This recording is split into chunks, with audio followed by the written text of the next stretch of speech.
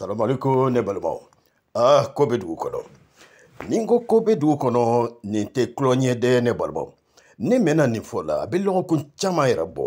n'a tɛ tɛmɛ kalo kelen yɛrɛ kan sisan a ka ca n'o ye a ye n ka video kɔrɔ bɛɛ lajɛ aw b'a ye n ye fɛn fɛn fɔ a bɛɛ bɛ ka na dɔɔni dɔɔni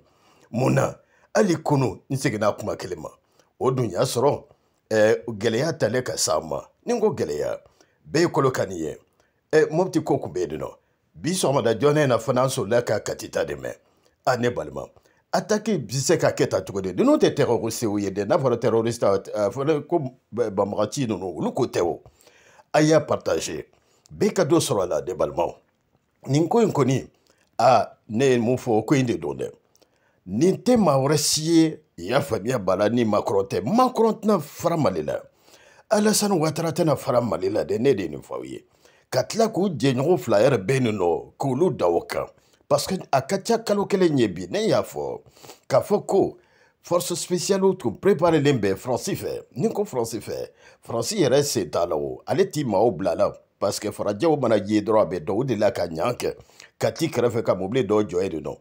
u menaselen k'a f'u ye tuma min n'u bɛ bɔ e u taara ka bɔ yen nɔ n'a tɛ aw bɛ bila pan na comme par hasard ka ti k'an kɛrɛfɛ u bɛ i y'a faamu la eh, san fila ɲɔgɔn yɛrɛ bɔ sa wala san kelen ni kɔ bɔ awa n'o kɛra ten nɔ i y'a faamuya bɛ la ka na kati kan kan wɛrɛ ma ta kɛ de fo kati yɛrɛ kan ale de ye i y'a faamuya bɛ la kati eh, kati kan de ye kati nimoro un eh, kati sojata u y'a faamuya bala alors ale ye base de ye n'a fɔra k'a fɔ base de bɛ attaquer nin tɛ dɔwɛrɛ ye complicité b'a la ni ko complicité b'a la malidenw dɔw mali sɔrɔsi yɔrɔ dɔw sen b'a la i y'a faamuya ça c'est clair a bɛna bɔ kɛnɛma ne de ye nin fɔ aw ye a b'a dɔn dɔw de la ka bɛna i y'a faamuya sɛn tɛ kɔnɔ o yɛrɛ fana tun ye kolonɛli dɔ ye i y'a nin ko de bɛ kɛ yɔrɔ bɛɛ mais par contre maa mun sen bɛ nin na makɔrɔ de don ani politisiyɛn ninnu mali politisiyɛn kɔrɔ ninnu olu de sen bɛ ne na cote que cote ayiwa n'a tɛ ne delila k'a fɔ a ye ka ca kalo kelen ɲɛ n bɛ segin a ma n k'u kelen ka yafa bila la force d'intervention dɔw labɛn kɔdiwara ani senegal ani niger u y'o olu labɛn o de fɛ ka na mɛ ne bɛ ko kelen fa ye ala tɛ se ka mali mina ka di a juguw ma tan nɔ y'a faamuya b'a la simi tɛ se ka mina ten ka da a juguw ma ala ka mali kisi ala ka asimi n'a jɛɲɔgɔn bɛɛ kisi n'a y'o tɛmɛnen kɔ aw y'a ye sɔrɔso dɔ wulila k'i jɔ yɔrɔnin kelen ka nin ko ɲɛnabɔ k'a ban bɛɛ y'a ye dɔw bolola dɔw fagara dɔw yɛrɛ minɛna o bɛna kuma o na dɔ fɔ o a y'a ye wa n'u bɔr'o de la ka y'a faamuya ba la ka boli dɔw taara don waliso kolonw ni fɛnw kɔnɔ an bɛɛ ye nin mɛn y'a faamuya ba la ɛ nowɛli nana sɔgɔmada joona fɛ o mɛ n bɛ kelen faw ye ne ye nin fɔ a ye n ka kasɛti hali kunu kunnasini ni fɛnw ka taa fo eh, kalo tɛmɛbaga in na a ye n ka kasɛti kɔrɔ bɛɛ lamɛn kelen kelen b'a ye k'a fɔ ne ye nin ne ye nin bɛɛ fɔ koyi n y'a fɔ n ko n'a ye ma hali kunu n ka kasɛti la n'a ye maa ye dugu kɔnɔ a filɛli cogo a taama cogo a kɛkɛ cogo aw y'a dɔn k'a fɔ nin t'aw ka dugu den ye aw ka quartier den tɛ a y'a jateminɛ aw ka se faamaw ma ne ye nin fɔ dɛ hali kunu n y'a fɔ ka eh, yafa dɔ video dɔ la nka aw ka se ni polisi bɛ yen a tɛ se polisi ma un ne ye dɔ ye a a kotigiw in ma ne ma da la a ye y'a lajɛ olu ka baara dɔw u bɛ se k'a kɛ cogo min u b'a kɛ n'o tɛ a ye se gendarmew ma n'olu tɛ a ye se gardiw ma n'o tɛ yen nin nɔ a ye se dugutigi yɛrɛ fana ma wala ni duwaɲɛ de bɛ yen na a tɛ se duwaɲɛw na ninnu bɛɛ bɛ se nin baara in na u b'a dɔn u y'a kalan u ka baara don maa kana maa neni n'i t'a dɔn i kana baga ma n'i t'a dɔn i kana gosi n'i t'a dɔn a ye se fabaw ma olu ka baara don olu b'a si dɔn i y'a faamuya b'a la da tɛ fili bɛ don a ko la a kɛra farafinɲɛw hali n'a kɛra bamanankanfɔla de ye maninkakanfɔla de ye filakanfɔla de ye marakakanfɔla de ye kɔrɔbɔrɔkanfɔla maa sugu bɛɛ nin bɛɛ kelen k'a lamini bamanankanfɔlaw bɛɛ kɔdiwari n'o kumana a bɛ k'i ɲɛna maliyɛnw don u bɛ senegal n'o kumana a bɛ k'i ɲɛna k'a fɔ maliyɛnw don i y'a faamuya b'a la niger fulaw bɛ yen kɔrɔbɔrɔw bɛ yen n'olu kumana a bɛ k'i ɲɛna u bɛ bɔ gawo tɔnbɔkutu aw ma nin ko ɲɛ u bɛ se k'olu de ta k'u de infiltre mali kɔnɔ n'o ni bɛnna dɔrɔn u bɛ kɔrɔbɔrɔkan f'i ye e b'a fɔ ko ne tɛ kɔrɔbɔrɔkan mɛn wala n bɛ kɔrɔbɔrɔkan mɛn a banna e b'a fɔ nɔn nin bɛ bɔ gawo wala nin bɛ bɔ tɔnbɔkutu k'a tara nkalon don nizeriyɛn don i ma nin ye o bɛɛ ye nin nɔ o tɛkiniki bɛɛ b'o dɔn tɛkiniki d'infiltration bɛɛ ba nin cogoya dɔn a bɛ kɛ cogo min u bɛ maaw de ta maa minnu bɛ kanw mɛn yɔrɔ la ka n'o k'u ta k'o dɔn a ko lɛ aw ye nin ko ɲɛ wa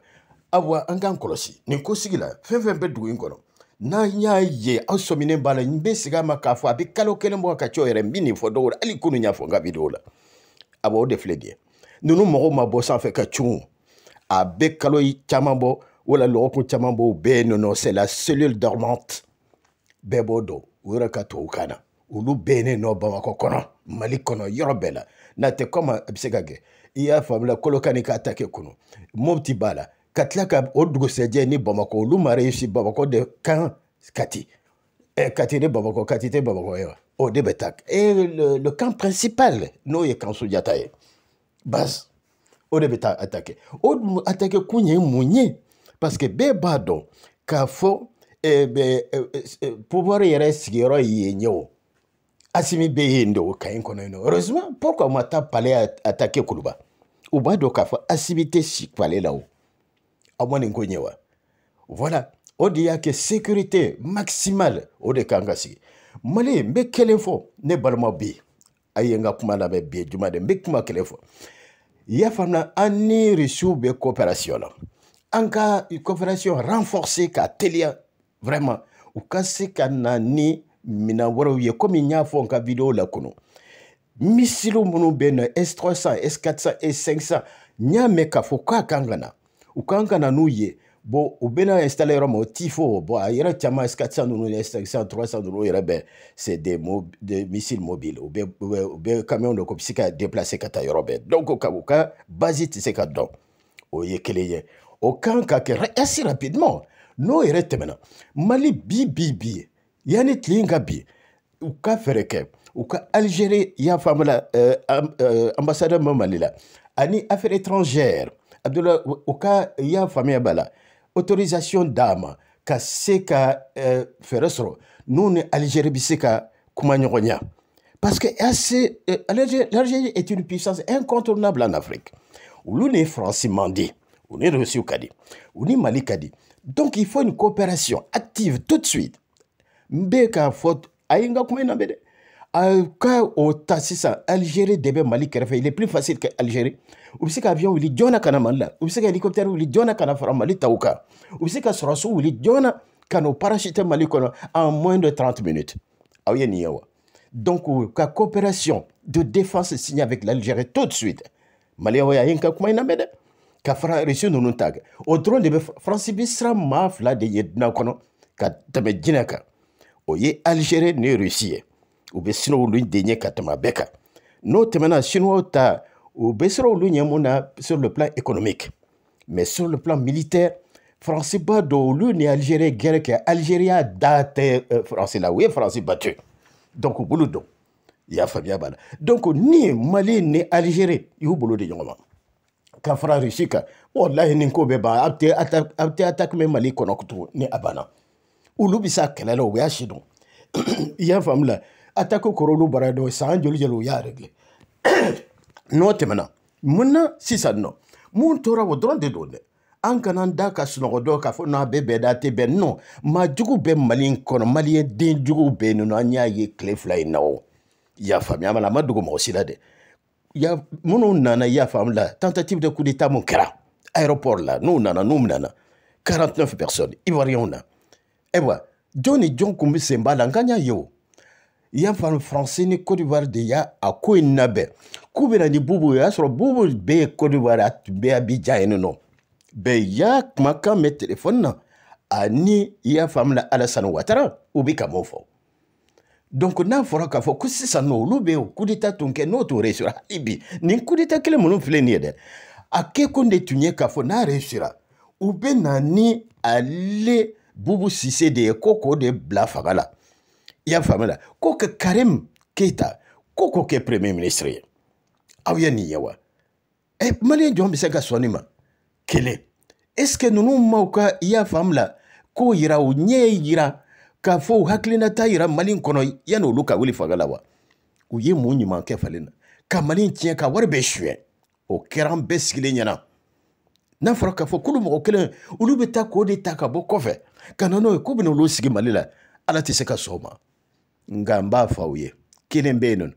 o ka di mɔgɔ min a ma di mɔgɔ min ye tubabu ka kuma il y a que des signes dans la vie o ye mun ye i y'a faamu la an y'a ye a tɛ tɛmɛ tile tan kan yɛrɛ asimi taara ɲɔrɔn siribukɛ fɛ yen nɔ bu ye ala ka sija ni kɛnɛya d'a ma a taara yen nɔ i y'a faamu la o ye mun fa ye ne ka dugawu mun d'a ma ka na o de b'a kɔ dɛ ani mali muru ni mali alimamiw ani mali donsow ani mali dɔɔninkɛla bɛɛ lajɛlen ani maliden bɛɛ lajɛlen ye dugawu min kɛ asimi ye o de bɛ asimi in kɔ dɛ a n'a fa n'a ba ka dugawu bɛɛ b'a fɔ mali dugawu de ma a ba n'a fa ka dugawu walahi olu tɛ se k'a bila